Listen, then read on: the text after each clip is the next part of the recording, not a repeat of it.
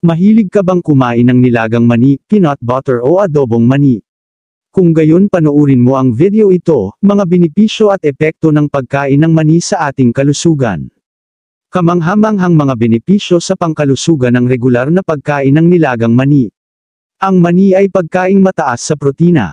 Ang nilagang mani ay nakakabusog, ang kalahating tasa ng mani ay may humigit kumulang 24 na gramo ng protina, na 47% ng pang-araw-araw na kinakailangang paggamit ng protina. Ang mga ito ay napakasarap at nakakabusog. Maaari mong tangkilikin ang mga ito bilang merienda o bilang isang pampagana na pagkain. Mayroong maraming mga paraan upang kumain ng pinakuloang mani sa iba pang paraan upang magamit ang kanilang mga benepisyo sa kalusugan. Katulad nito, ang mga mani na pinakuluan ay may parehong mga sustansya tulad ng inihaw na mani ngunit may mga karagdagang antioxidant. Ang resveratrol ay sagana sa mani. Mataas din ang mga ito sa malusog na taba na maaaring makatulong sa iyong palakasin ang iyong katawan, magandang cholesterol. Kasama rin sa mga ito ang isoflavones na mga antioxidant na maaaring makatulong na maiwasan ang sakit sa puso at diabetes. Kung ihahambing sa dry roasting, ang pagpapakulo ay nakakatulong upang mapanatili ang pinakamaraming resveratrol sa mani. Ang nilagang mani ay naglalaman ng malaking halaga ng calcium, potassium, iron, magnesium, copper, zinc, manganese, at selenium. Naglalaman din ito ng dietary fiber, niacin, folate, thiamine, riboflavin, vitamina E. Ito ay maaaring makatulong upang maiwasan ang Alzheimer's disease at iba pang anyo ng cognitive decline. Kaya't ang mani ay nagbibigay ng iba't ibang mahahalagang sustansya sa isang maliit na sukat ng paghahatid. Napakahusay para sa ngipin, nerves, buto, at muscle. Ang kalahating tasa nilagang mani ay may 30% ng iyong pang-araw-araw na pangangailangan sa magnesio at 25% ng iyong mga pangangailangan sa phosphorus. Ang mga mineral na ito ay parehong mabuti para sa iyong mga buto at ngipin, habang ang phosphorus ay tumutulong sa conversion ng pagkain sa enerhiya. Ang pinakuloang mani ay nagbibigay din ng ikalima ng iyong pang-araw-araw na pangangailangan sa zinc, isang antioxidant na mineral na tumutulong sa pagpapagaling ng sugat. Ang pinakuloang mani ay mayaman sa bitamina. Ang nilagang mani ay magandang pinagmumulan ng mga antioxidant at bitamina E. Maaaring makatulong ito upang maiwasan ang Alzheimer's disease at iba pang uri ng cognitive decline. Kasama rin sa mga ito ang vitamina B complex na mahalaga para sa paglaki at pagunlad ng iyong mga kalamnan at organo. Ang mga vitamina B at folic acid ay tumutulong sa iyong katawan na gumawa ng mga pulang selula ng dugo, at maaaring makatulong ang phildina na maiwasan ang ilang mga abnormalidad sa panganganak. Ang nilagang mani ay nakakatulong sa pagbaba ng timbang. Ang pinakuloang mani ay isang merienda na may mataas na enerhiya. Maaari kang kumonsumo ng mas kaunting mga kalori kung kakainin mo ang mga ito bilang merienda. Ang mga mani, sa kabila ng kanilang medyo mataas na kalori na nilalaman, ay maaaring makatulong sa pagbaba ng timbang. Ang mga mani ay lumilikha ng mas malakas na pakiramdam ng pagkabusog kapag kinakain bilang merienda kaysa kapag kinakain bilang bahagi ng pagkain. Ito ay maaaring makatulong sa iyo na mawala ng timbang sa katagalan. Ang isang diskarte upang mapabuti ang toothsome at nutritional intake ng hindi tumataba ay ang pagsama ng mani sa pagkain ng isang tao. Ang pagkonsumo ng mga mani at peanut butter ay ipinakita din upang mapalakas ang pakiramdam ng pagkabusog. Ang nilagang mani ay nagpapalakas ng enerhiya. Ang kalahati tasa na nilagang mani ay may 286 calories, 12 gramo ng protina, 0 gramo ng cholesterol, at 2 gramo ng natural na asukal.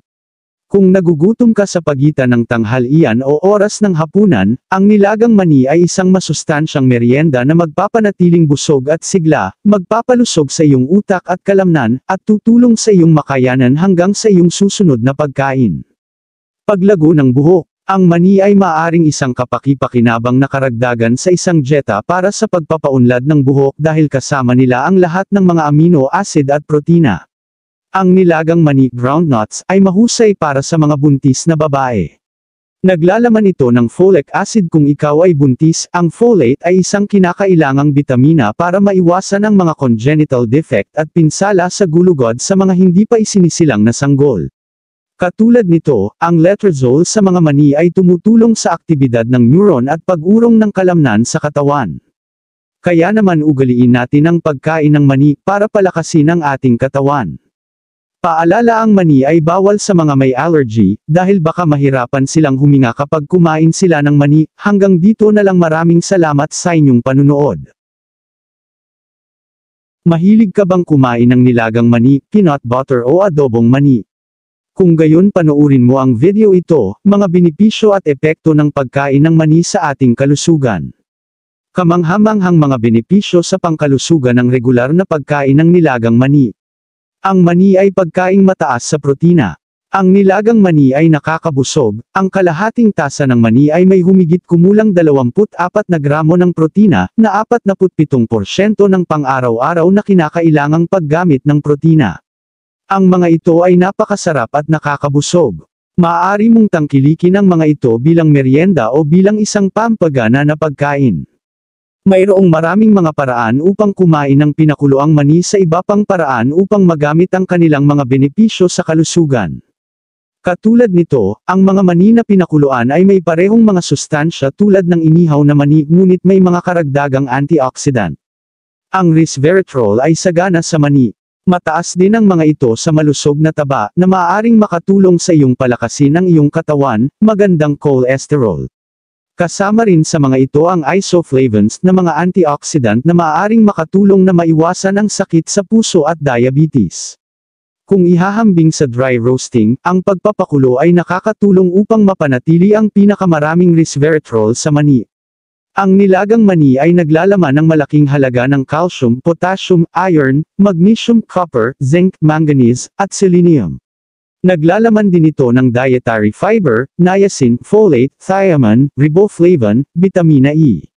Ito ay maaaring makatulong upang maiwasan ang Alzheimer's disease at iba pang anyo ng cognitive decline. Kaya't ang mani ay nagbibigay ng iba't ibang mahahalagang sustansya sa isang maliit na sukat ng paghahatid. Napakahusay para sa ngipin, nerves, buto, at muscle. Ang kalahating tasa nilagang mani ay may 30% ng iyong pang-araw-araw na pangangailangan sa magnesyo at 25% ng iyong mga pangangailangan sa phosphorus. Ang mga mineral na ito ay parehong mabuti para sa iyong mga buto at ngipin, habang ang phosphorus ay tumutulong sa conversion ng pagkain sa enerhiya. Ang pinakuloang mani ay nagbibigay din ng ikalima ng iyong pang-araw-araw na pangangailangan sa zinc, isang antioxidant na mineral na tumutulong sa pagpapagaling ng sugat. Ang pinakuloang mani ay mayaman sa bitamina. Ang nilagang mani ay magandang pinagmumulan ng mga antioxidant at bitamina E. Maaaring makatulong ito upang maiwasan ang Alzheimer's disease at iba pang uri ng cognitive decline. Kasama rin sa mga ito ang vitamina B complex na mahalaga para sa paglaki at pag-unlad ng iyong mga kalamnan at organo.